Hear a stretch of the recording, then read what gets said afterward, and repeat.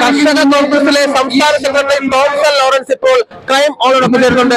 നമസ്കാരം. ഈ നാറിയ ഭരണം ഏഴര വർഷം പിണറായി സർക്കാരിന്റെ നാറിയ ഭരണം നിങ്ങൾ ഇപ്പോൾ പ്രതിഷേധമായിട്ട് ഈ പറയുന്ന പോലെ കണ്ടോൺമെന്റിലെ അഞ്ച് വാതിലും ശക്തമായി വളഞ്ഞു കഴിഞ്ഞു. ഇത് എന്തിനാണ് ശരിക്കും പറഞ്ഞത് സൂചിപ്പിക്കുന്നത്? സമസ്ത മേഖലയിലും ജീവിതം ദുഷിതമാക്കിക്കൊണ്ട് ഈ കഴിഞ്ഞ ഏഴ് വർഷം ഈ പിണറായി സർക്കാർ മുന്നോട്ട് പോവാണ്. സമസ്ത മേഖലയിലും പരാജയപ്പെട്ട ഈ പിണറായി സർക്കാർ.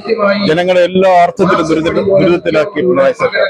സമൂഹത്തിലെ എല്ലാ തട്ടിലുള്ള ജനങ്ങൾ കഷ്ടതയും അനുഭവിക്കുകയാണ്.